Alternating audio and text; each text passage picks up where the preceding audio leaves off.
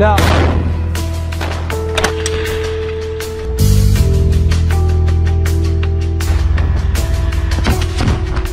now.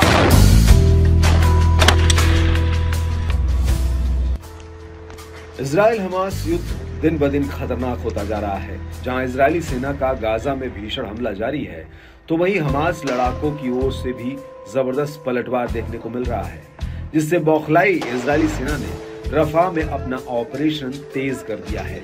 बावजूद इसके, Hamas लड़ाके भी अपना दमखम दिखाकर इसराइल पर हावी हो रहे हैं। घात लगाकर इसराइली बलों को अपना शिकार बना रहे हैं। वहीं हमास लड़ाकों को ईरान के प्रॉक्सी गुटों का भी ज़बरदस्त साथ मिल रहा है। बीते साल 8 अक्टूबर के बाद से चाहे लेबनान हो या फिर इराक, सीरिया या फिर यमन के चरमपंथी संगठन इसराइल पर कहर बनकर टूट रहे हैं। लेबनान के हिजबुल्ला आतंकियों ने तो एक कदम और आगे बढ़ते हुए हिंसक रुख अख्तियार कर लिया है। हिजबुल्ला लड़ाकों के हमलों से इसराइली सेना को ज़बरदस्त नुकसान झेलना पड़ रहा है। इसराइली सैनिक ही नहीं, बल्कि उनके हथियार और विनाशकारी टैंक हमले में तबाह हो रहे हैं। इन सब के बीच दावा किया जा रहा है कि हिजबुल्ला इसराइल पर बड़े हमले की फिराक में है। ईरानी राष्ट्रपति इब्राहिम रईसी की हेलीकॉप्टर क्रैश में मौत के बाद से हिजबुल्ला ने अपने हमले तेज कर दिए। और इसके संकेत पहले से ही दे दिए थे। बताया जा रहा है कि हिजबुल्ला अपने लड़ाकों को इसराइल से जमीनी जंग लड़ने की ट्रेनिंग दे रहा है। इसराइल के हर खतरे को कम करने की तैयारी जोरों पर जारी है। लेबनान के शीर्ष नेता ने बयान में कहा कि इसराइल को हम बड़ा सरप्राइज़ देने जा रहे हैं। जिसे वो हमेशा याद रखेगा। हिजबुल्ला की चेतावनी के बाद इसराइल से लेकर अमेरिका तक में हलचल तेज हो गई है। हिजबुल्ला चीफ नसरल्ला ने धमकी दी कि वो फिलिस्तीनी मुद्दे पर हमास के साथ खड़ा है और हमेशा रहेगा। हम जल्द ही ऐसा बदला लेने वाले हैं जिसे इसराइल हमेशा याद रखेगा। पिछले साल 7 अक्टूबर को हमास की ओर से इसराइल में जो हमला किया गया, वो ऐतिहासिक था।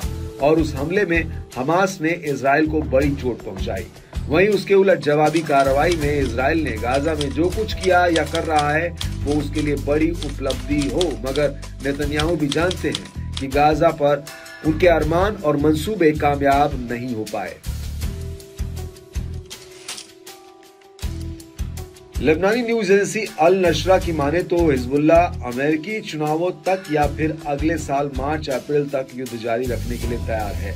चौंकाने वाली बात यह है कि हिजबुल्ला ने अभी तक हथियार तैनात नहीं किए हैं। वहीं अल जरीदा की रिपोर्ट की माने तो हिजबुल्ला के पास लंबी दूरी की सटीक मिसाइलें और रूस की बनी विमान भेदी मिसाइलें हैं।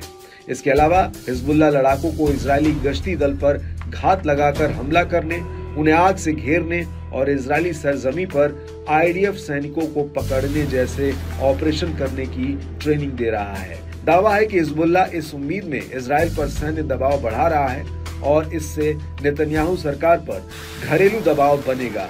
इससे इसराइल को युद्ध विराम के लिए बातचीत करने के लिए मजबूर होना पड़ेगा।